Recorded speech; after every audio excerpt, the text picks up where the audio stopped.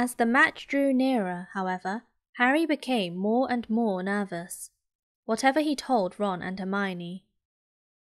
The rest of the team weren't too calm either. The idea of overtaking Slytherin in the House Championship was wonderful. No one had done it for nearly seven years, but would they be allowed to, with such a biased referee? Harry didn't know whether he was imagining it or not, but he seemed to keep running into Snape wherever he went.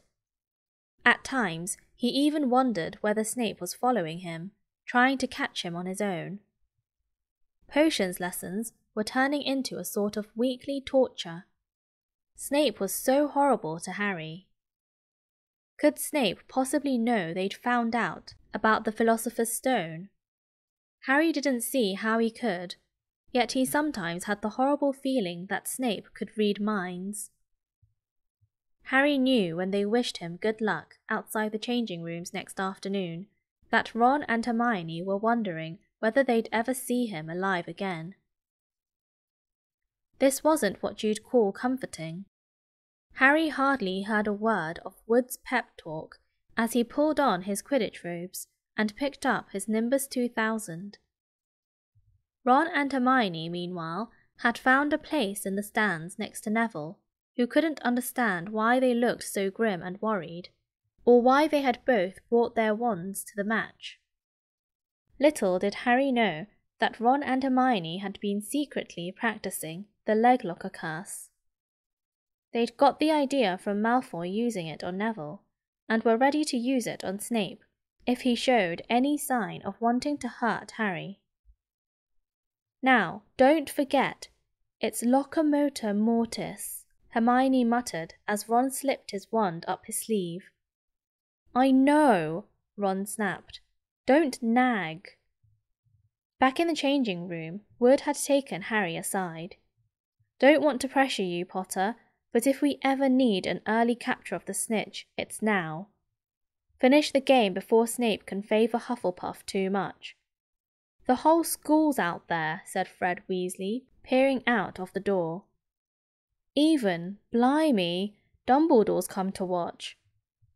Harry's heart did a somersault. Dumbledore, he said, dashing to the door to make sure. Fred was right. There was no mistaking that silver beard. Harry could have laughed out loud with relief. He was safe. There was simply no way that Snape would dare to try and hurt him if Dumbledore was watching. Perhaps that was why Snape was looking so angry as the team marched on to the pitch. Something that Ron noticed too. I've never seen Snape look so mean, he told Hermione. Look, they're off. Ouch! Someone had poked Ron in the back of the head. It was Malfoy. Oh, sorry, Weasley, didn't see you there. Malfoy grinned broadly at Crabbe and Goyle. Wonder how long Potter's going to stay on his broom this time.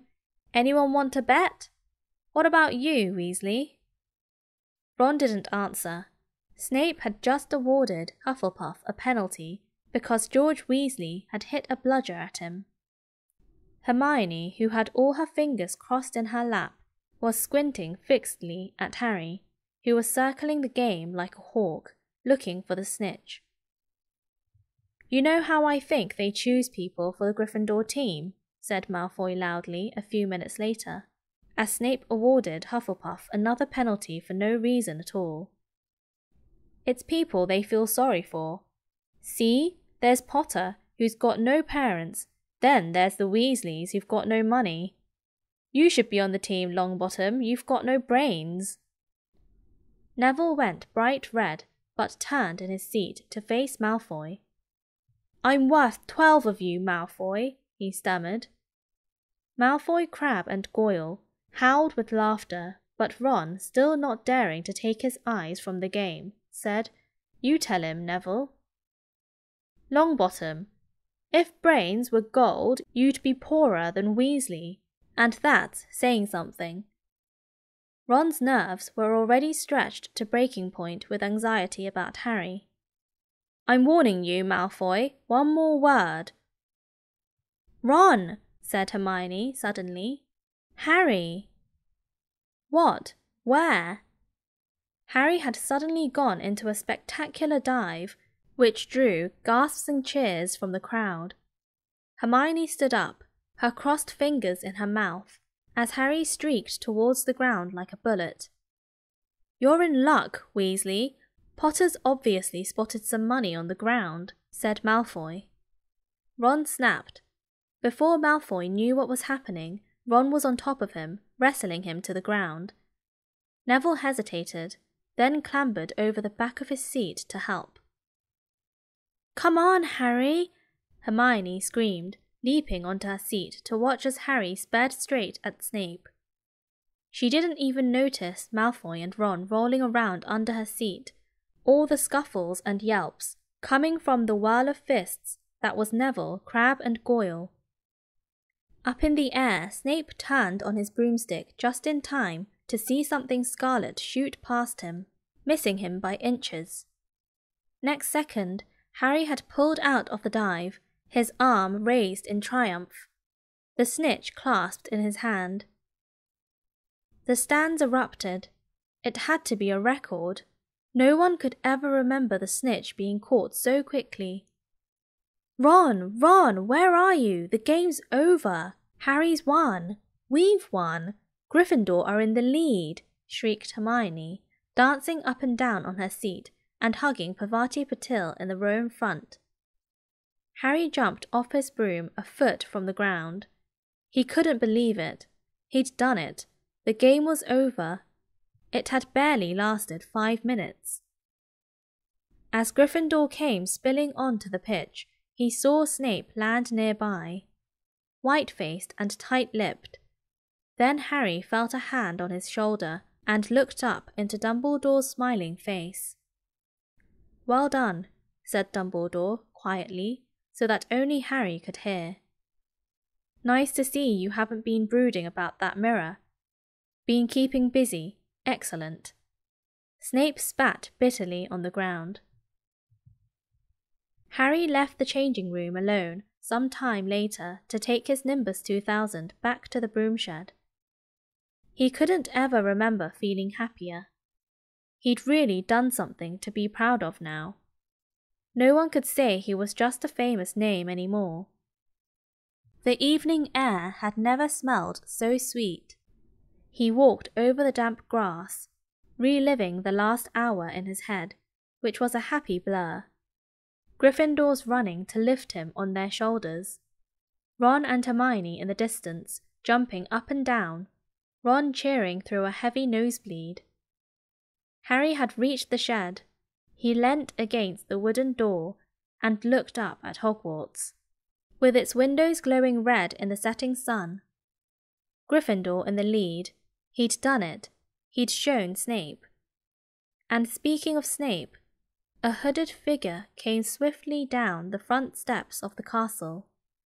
Clearly not wanting to be seen, it walked as fast as possible towards the forbidden forest. Harry's victory faded from his mind as he watched. He recognized the figure's prowling walk. Snape, sneaking into the forest while everyone else was at dinner. What was going on? Harry jumped back on his Nimbus 2000 and took off.